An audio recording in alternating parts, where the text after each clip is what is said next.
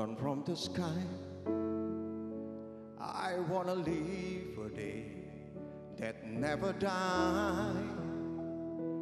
I wanna change the world only for you. All the impossible I wanna do. I wanna hold you close under the rain.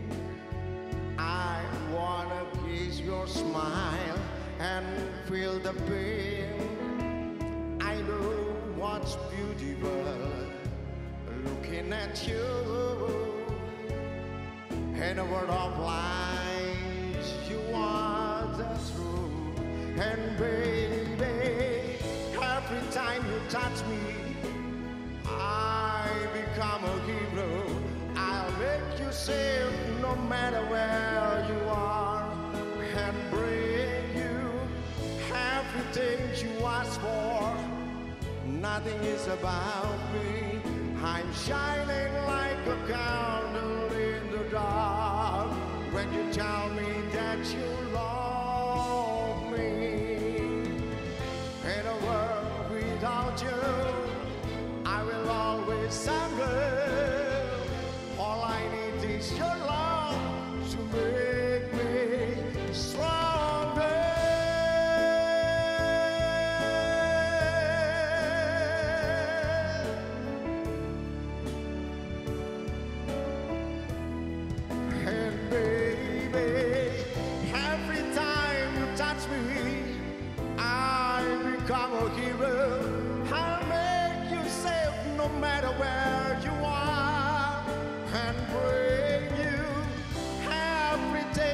you ask for. Nothing is about me. I'm shining like a candle in the dark when you tell me that you love me. You love me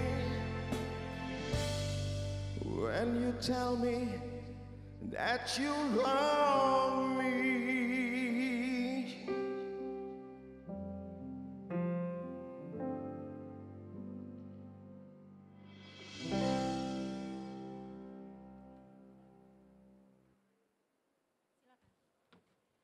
Pak Aan dari Depok, Jawa Barat. Wih penampilannya, saya dengerinnya benar-benar menghayati sepertinya nyanyinya ya Pak. Ya terima kasih banyak. Buat istri lagunya. Iya Kangen sama istri? banget. Mau bilang apa sama istri yang sedang menyaksikan di rumah Pak? Mudah-mudahan kali ini nggak ngecewain kamu ya.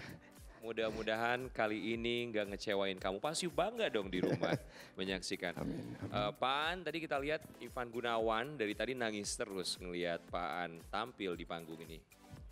Igun kenapa ya? Are you okay?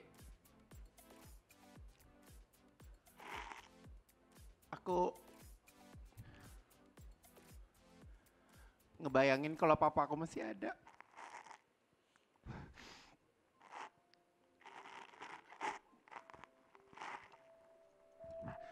Pasti dia di rumah. Nonton aku sama mama dia nyanyi lagu ini.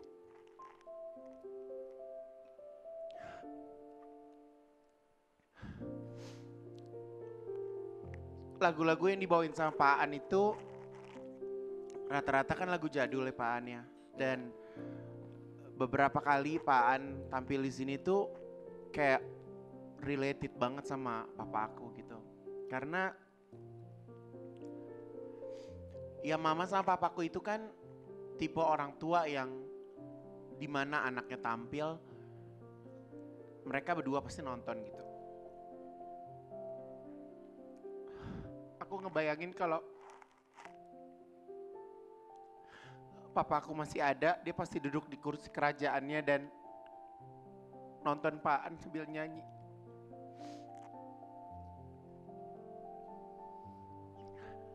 Tapi nggak apa-apa, aku seneng kalau aku bisa nangis. Ya, ya. Karena aku tipe orang yang sebenarnya jarang nangis gitu. Jadi kehadiran Pak An nih kayak bisa membuat rasa rindu saya lebih berkesan gitu karena saya itu tipe orang yang susah nangis gitu karena kalau saya kangen sama papa saya saya nggak mungkin chat mama saya gitu dan Tapi saya nggak mau nih. Saya nggak mau Kenapa? mama saya sedih gitu. Saya setuju sama eh, Ivan. Yang pertama, saya tahu saya tahu ayahnya Ivan. Saya tahu kursi kerajaannya seperti apa. Jadi itu depannya TV, tapi kursinya miring nggak ke depan TV. Jadi kalau duduk papanya tuh suka nyamping gitu. Terus ada satu kursi lagi di depan, kakinya dinaikin ke atas itu. dan itu kursi papa saya meninggal satu hari besok covernya langsung saya ganti jadi aku tuh nggak mau membuat satu kenangan yang tertinggal di rumah itu Ya. karena kalau karena papa aku nggak pernah duduk di kursi lain pasti dia duduk di kursi itu gitu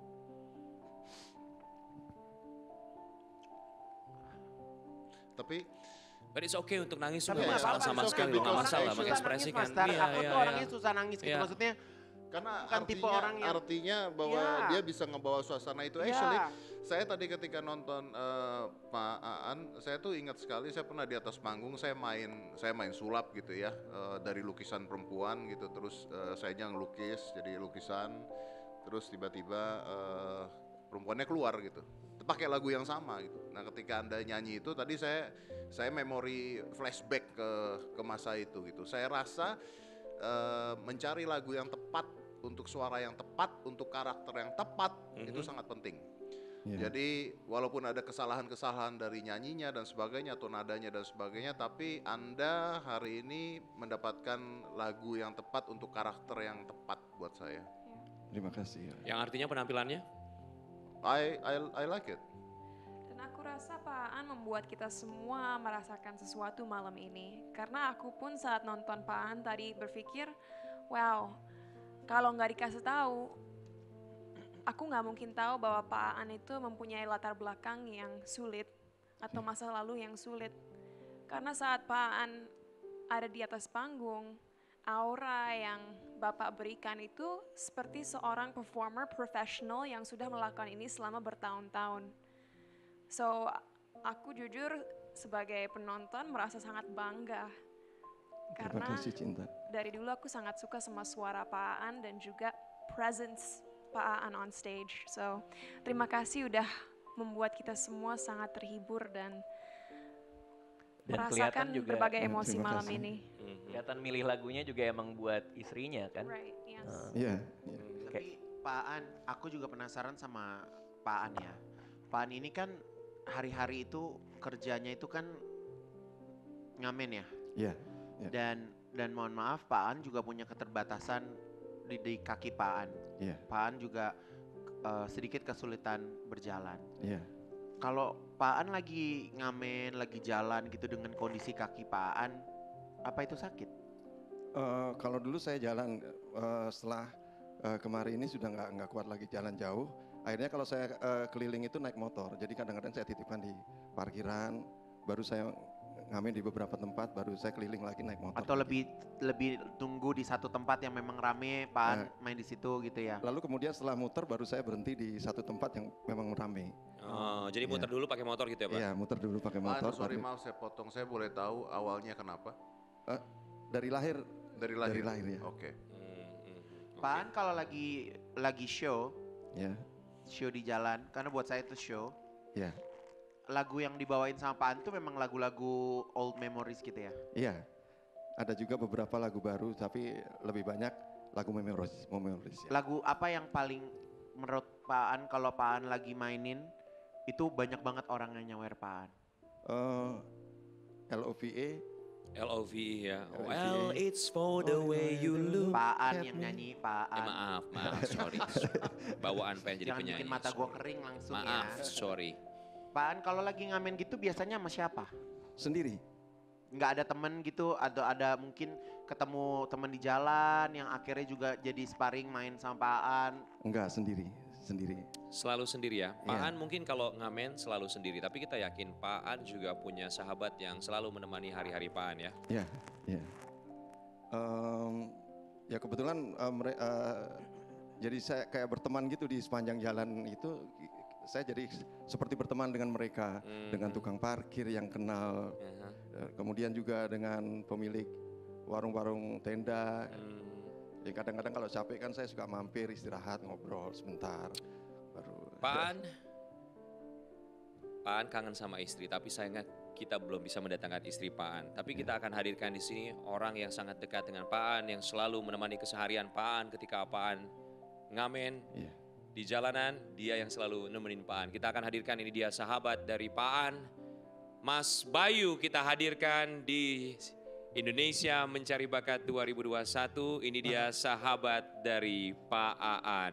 Selamat malam Mas Bayu, mic-nya boleh dipakai. Iya, Pak. Oh, Mas Bayu manggilnya Babe ya? Babe, Pak. Boleh dipakai mic-nya. ya? Babe. Babe. Jadi Mas Bayu itu sahabatnya kenal sama Babe ini di mana? Gimana ceritanya? Di Margonda sih di daerah eh, jualan gitu kan angkringan. Si Mhm. Babe sering ngamen di sana. Mhm. Jadi kalau Babe ngamen, saya parkir di situ paling. Oh, jadi markirin Ah, ah, kerjaannya. betul. Kan ini usianya jauh sekali terlihat ya. Iya, Seperti bapak dan anak, makanya manggilnya Babe. Tapi apa yang bisa membuat Mas Bayu dekat dengan Babe yang usianya jauh gitu? Emang seperti apa Babe ini orang? Jadi Babe tuh kalau abis kayak ngamen, dia selesai ngamen itu suka nongkrong bareng dulu, kita ngopi-ngopi bareng. Mhm, Paling itu aja sih mas. mhm. Sifatnya Babe apa yang nggak pernah bisa dilupakan? Kalau sifatnya Babe sih bergaulnya ya, dia asik orangnya gitu. Ke siapa aja welcome gitu. Mhm. Jadi ke sana sininya masuk aja. Nggak nyebelin kan Babe? Enggak lah. Ini kalau dari Babe, pasti ada satu kenangan tersendiri buat Mas Bayu yang nggak pernah bisa dilupain. Apa? Ada cerita dari pertemanan ini nggak yang sampai sekarang mungkin akan bisa terus diingat terus? ya dia sempat kaget ya maksud waktu saya nyanyi gitu ada ada satu customer yang apa eh, ikut nyanyi terus videoin kita nyanyi ya waktu itu ya Iya betul.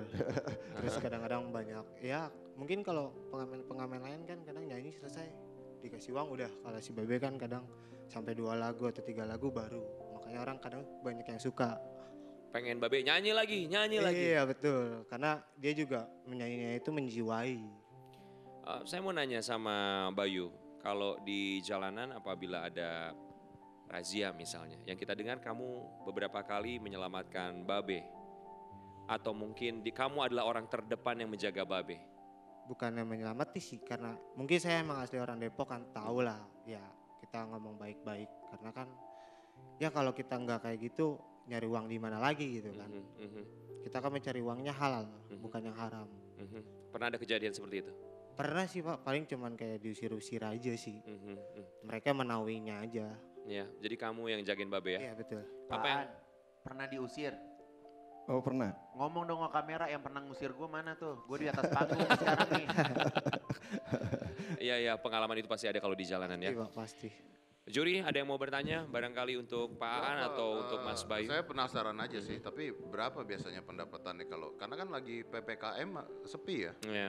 ya itu kalau kalau pas eh, eh, weekday dari Senin sampai Kamis itu memang di bawah rata-rata maksudnya eh, di bawah 100 ribu gitu Hmm. tapi kalau weekend ya eh, saya bersyukur ada lebih lebih Sebelum dari itu. COVID lebih besar.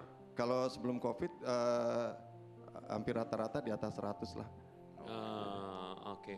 Karena saya ngamennya nggak nggak dari pagi, biasanya dari habis maghrib sampai jam 12. Kadang-kadang Ada sampai kerjaan lain atau gimana Pak? ada teman kadang-kadang ada teman yang ngajakin saya nyanyi di kafe. Oh. Tapi itu tidak tidak tiap hari. Mungkin seminggu dua kali gitu. Oke. Ya, tapi saya rasa setelah Indonesia mencari bakat ini masuk atau tidak masuk, lewat apa tidak lewat, pasti hidup Anda akan berubah itu. Amin. Amin. Amin. Amin.